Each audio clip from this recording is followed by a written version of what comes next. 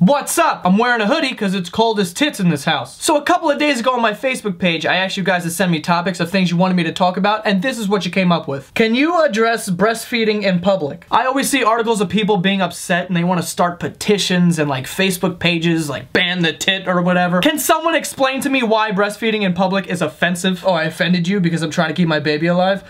Fuck you and suck my tits. Like, dude, the baby needs to be fed. What is the alternative? Should we just let it starve and then watch it die in that thing that's strapped to their mother's chest? I was on the subway one time and there was train traffic, so we were stuck for like 10, 15 minutes, and this woman started breastfeeding her baby. And after a minute, some old guy was like, do you have to do that here? She kind of just shrugged him off, but she should have looked at him and been like, oh, what's up? You're really old. That's awesome. Why don't you just pack it in and die right now? That'd be sick. I've never wanted to shadow kick someone so hard in the fucking face, and he was old. His bones were brittle. I would have broke this whole side. Long story short, here's my opinion. Feed the kids, all right?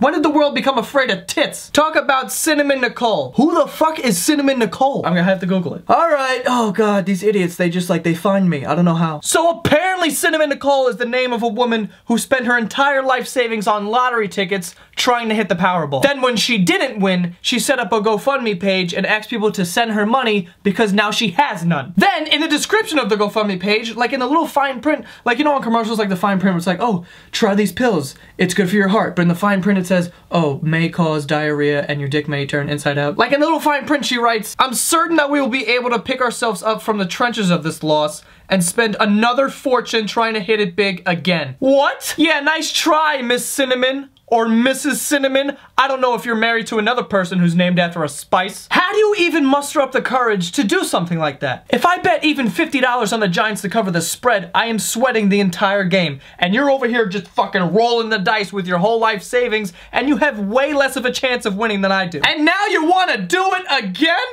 Cinnamon.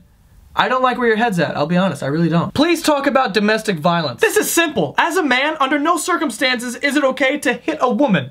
Unless it's Ronda Rousey and she's beating the shit out of you, then you might want to like throw a jab and run the fuck out of there. She will kill you. But seriously, if you hit a woman, you're a bitch. And on the reverse, if you're a woman, there's no reason to hit a man unless you're defending yourself. The problem is some women think, oh, guys aren't supposed to hit me, so I could hit them and nothing's gonna happen to me. And an attitude like that is fucking wrong and dangerous because some guys don't care if you hit them they will slap the shit out of you. I'm not saying that's right, I'm just saying that could happen. Why don't we relax with the fighting, alright? It's 2016, let's keep up with the times, alright? Let's pretend to be people's friends in person, get on Twitter, subtweet them, maybe talk shit about them in a group text that they're not in. All right, let's do that instead of hitting each other. And the worst thing ever that kind of ties into this is how girls on social media love to play the I'm a crazy girlfriend card. They'll tweet some shit like, oh, if a guy cheats on me and it's like a picture of them with a knife, or they'll tweet something like when Bay talks to other girls and then it's a picture of Angelina Jolie polishing a gun. Like, what the fuck? Being one of those crazy girlfriends isn't funny or cool, and I know it's supposed to all be a joke, but the fact that they all get a ton of retweets is gonna tell young girls that get on social media like, oh, this is normal, this is cool. And they know what's gonna happen the next that their boyfriend in second grade doesn't give him a piece of his fruit roll-up, she's gonna take a pencil and jam it in his jugular, and he's gonna bleed out all over the fucking lunch table. Talk about those stupid social media posts, for example, like this to end hunger. Honestly, those are the worst posts ever. When I'm on social media, I'm just trying to entertain myself, you know? I'm not trying to get guilt-tripped into liking or sharing something. But it always happens. I'll be on Twitter or Facebook, just scrolling, having a good time, and all of a sudden, boom, there it is. It's a picture of like a hungry baby, and he's got tears in his eyes. He's looking right in the camera like I'm the one that didn't fucking feed him. And the caption is,